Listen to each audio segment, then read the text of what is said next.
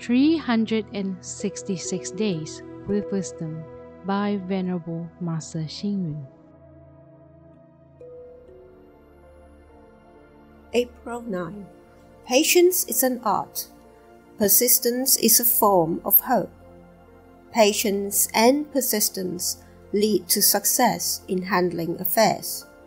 Patience and persistence help one to be proficient in conducting oneself. Patience is an art, and persistence is a form of hope. Patience and persistence can help us be proficient in our studies, to be accomplished in cultivating ourselves, and to be a sensible and understanding person. Patience and persistence are very important to our success and accomplishments in a career.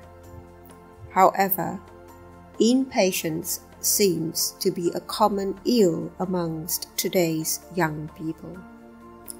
Their lack of persistence also reveals their superficiality. They do not have the patience and concentration their bodies and minds are rather unsteady, and they change their jobs frequently.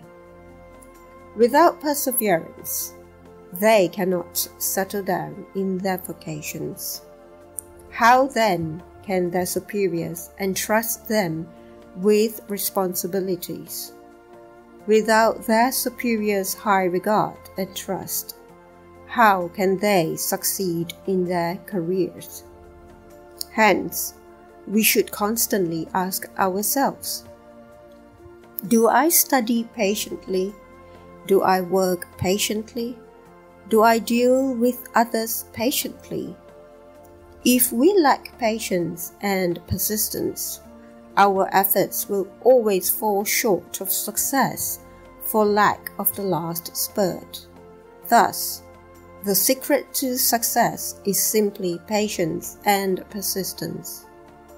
Read, reflect, and act. Patience and persistence help to mold one into a sensible and proficient person.